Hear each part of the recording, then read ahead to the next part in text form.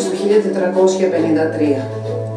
Μετά από σχεδόν δύο μήνες πολιορκία, ο Οθωμανικός στρατός ξεκινάει την τελική επίθεση εναντίον της βασιλεύουσας. 1821 η φλόγα της Επανάστασης, ένα δραματοποιημένο ντοκιμαντέρ του Μανούσου Μανουσάκη, η προβολή του οποίου πραγματοποιήθηκε χθες στην Καλαμάτα με μεγάλη επιτυχία στο Αμφιθέατρο Θεόδωρος Αγγελόπουλος του Εργατικού Κέντρου.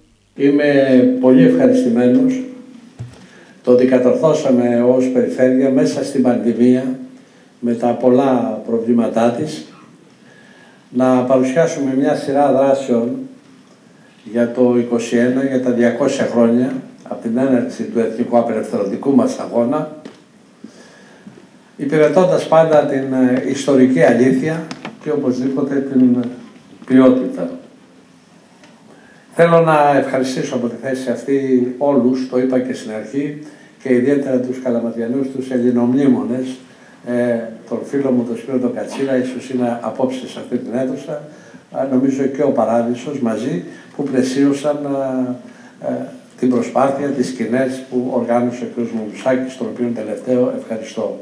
Το πρόγραμμα των προβολών θα ολοκληρωθεί την Παρασκευή 25 Μαρτίου στην Τρίπολη. Πρόκειται για μια παραγωγή της περιφέρειας Πελοποννήσου για τα 200 χρόνια από την Εθνική Παλιγενεσία.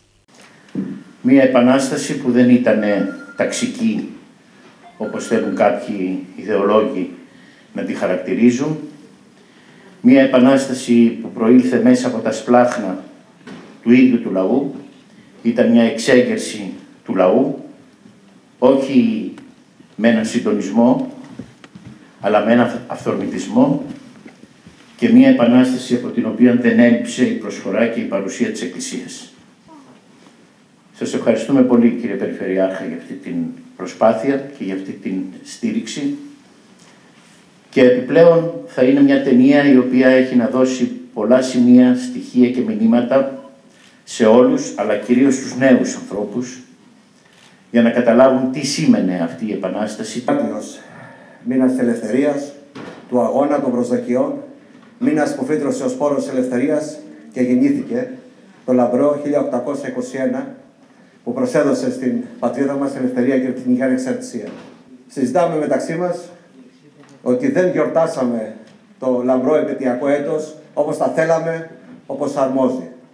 Όμως έγιναν πάρα πολλά. Δεν έγιναν βέβαια εκδηλώσεις όπως θα θέλαμε, οι εκδηλώσεις όμως φεύγουν. Προσανατολίσαμε όμως, προσδιορίσαμε όλα αυτά που θέλουμε να κάνουμε σε πιο μόνιμες δράσεις.